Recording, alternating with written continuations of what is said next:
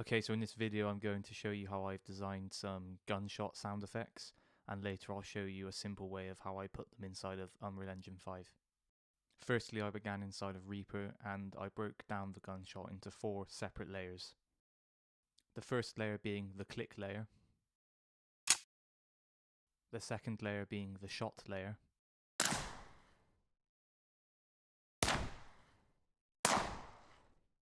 the third layer being the kick layer, and the fourth layer being the mech layer. On the click layer I simply put on an EQ. On the shot layer I put on a simple EQ as well as Devil-Loc.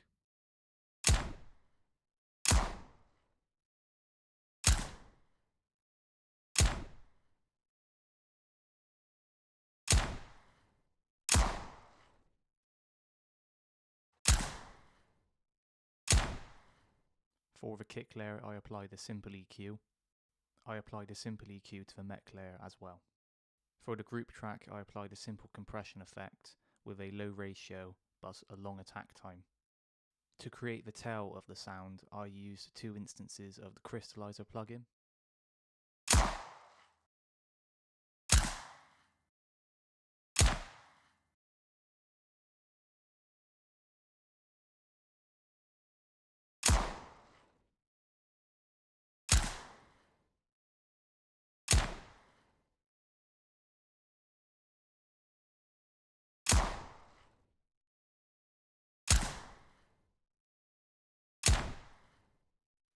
The cumulative effect of all of these processes are quite powerful.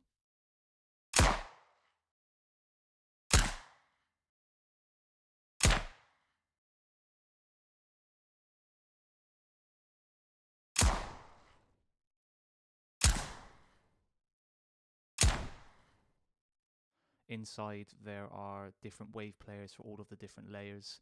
There are random wave asset arrays for the different instances of the mech and the shot layers, as well as random float nodes corresponding to a random pitch for all of the layers. There are also random time delays for the layers after the click. In order to play this MetaSound inside of the game level, I went into the BP weapon component inside of the first person shooter template and then on the play sound at location node I simply replaced it with my MetaSound.